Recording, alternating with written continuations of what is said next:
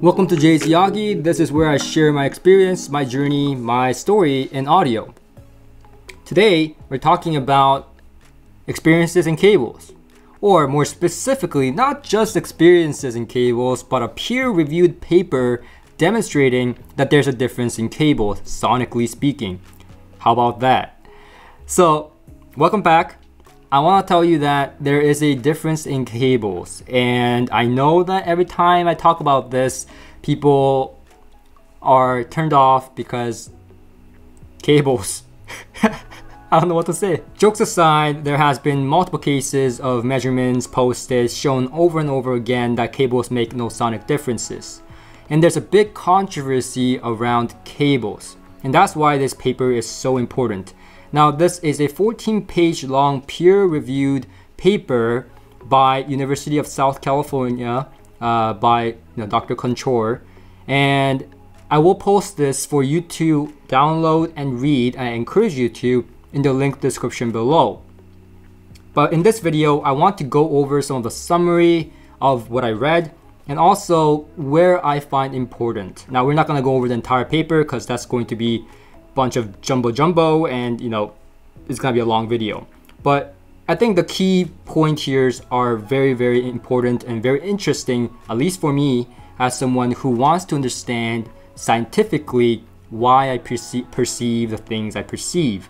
Now I've told you guys over and over again that I've heard a difference in cables when I was working in a high-end retail store but again in my stereo setup and a lot of people have been asking for scientific data, blind A-B testing, and in fact, we have a blind A-B testing video. But again, blind A-B testing is, you know, can create a lot of false positives as, as well as false negatives. So this paper also talks about that as well towards the summary. Now, I just want to draw your attention to what I said that probably flew by your heads, and that's the word big controversy every time there's a big controversy, it really means that there's two group of people or more that has a different opinion, right? So in this case, we have a group of people that have heard the difference in cables and believe in cables, and then there's the people, the measurement folks that either heard it for themselves that there's no difference, or you know solely relies on measurements alone to make that decision. So either case, it means that there's a group of people, and a substantial group of people, as far as I can tell, that has heard a difference in cables, including myself. And as someone who has a background knowledge in science, who has a scientific background, and has a day job as a researcher like me, what that shows me is that there is a need to investigate, and that is how science works. See, how science works is not just saying there's no possibility, there's no possibility, there's no possibility, you guys are all crazy.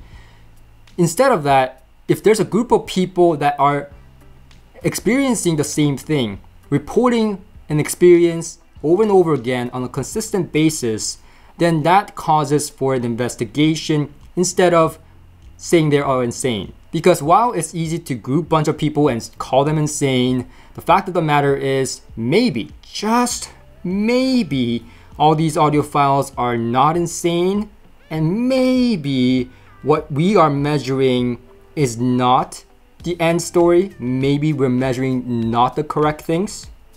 Maybe. Possible? Well, that's usually how scientific studies go. I mean, when we first learned about the unconscious mind, and it was brought up, a lot of respected philosophers and researchers at the time ridiculed it and it was not welcomed. You know, they said we can't diagnose it, we can't see it, we can't touch it, it's not real. And these were respected scientists and philosophers and doctors at the time. Now, it's ridiculous to us that they're, you know, they're suggesting that because we know we have an unconscious mind. In a similar way, this is what happens in this paper. Dr. Kunchur goes, well, maybe we're not measuring the right things. Maybe we should measure other things. So he goes into a series of measurements that is outside of the norm, meaning, yes, we've measured the frequency response, we've measured conductance, you know, all these parameters that makes a cable a cable, but we haven't measured anything outside of that.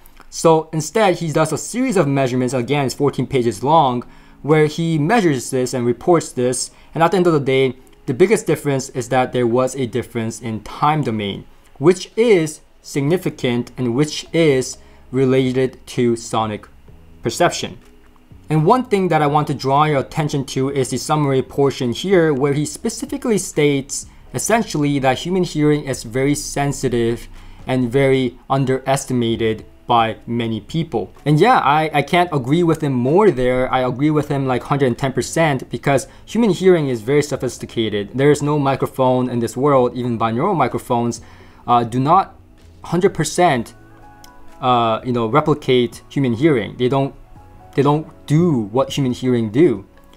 And so we perceive things very differently, and we've often talked about this on this on, on my channel here uh, that you know we, we perceive things and we underestimate human hearing greatly because when it comes to human hearing it's connected to brain and it's connected to other sensory matters within us that all combined creates a perception a reality.